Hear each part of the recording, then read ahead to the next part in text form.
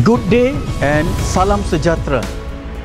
Myself, Shashi, currently attached to OUM Graduate Center.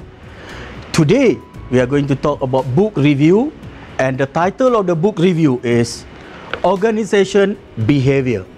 This book is published by SJ Learning and it was published in 2018. And if you see here the name, this book is published by 15 authors and all of them have extensive teaching experience and also in research in respective topic they have written.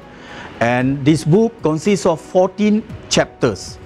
So if you see all these lecturers with their biodata inside, they come from public university and private university in Malaysia. So this book, if you see it, when you read, this book is suitable for undergraduate and postgraduate in private university or public university, either local or international. But one major features of this book, most of the cases of this book, some of it are actual and some of it are fictional, are written based on the experience of the lecturer in Malaysia. So this textbook is written basically how the organization can improve and how they operate in their respective organization. Uh, the 14th chapter include practical instruction on the many facets of the organization, including organization culture, motivating employees, workplace conflict, teamwork, and leadership.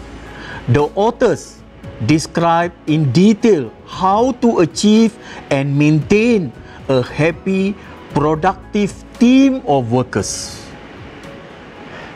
This book is available in major bookshop and also available in our physical library. So, if you are unable to visit our physical library, you're most welcome to use our services that is intra-library loan. And this book will be sent to you to any 35 nearest learning center to you. We have more than 20,000 printed books covering a wide range of topics and 30 electronic databases consisting of e-book and e-journals, audio-visual collection, OUM repository, seminars paper and thesis.